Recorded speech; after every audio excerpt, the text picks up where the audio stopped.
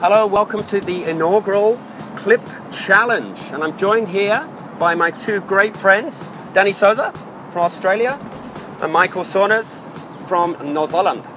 So today, these guys will be playing off uh, and they've been practicing hard and putting in a lot of hours. So hopefully it's going to be a good match. And uh, if you look at your QLIPP cards, so you see some of the stats that these guys have already amassed and we'll be doing a little bit more of that afterwards with the stats from the match.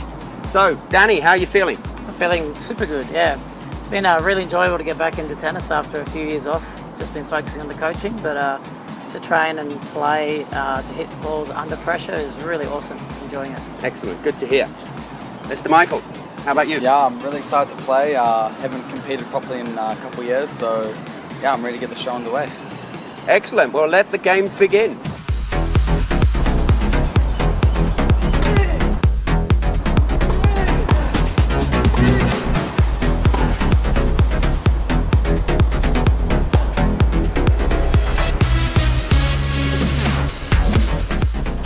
Ladies and gentlemen, an awesome match amongst two of my very close friends. Very hard to sit on the sideline and watch and call lines, let me put it that way, just because uh, you want both of them to win.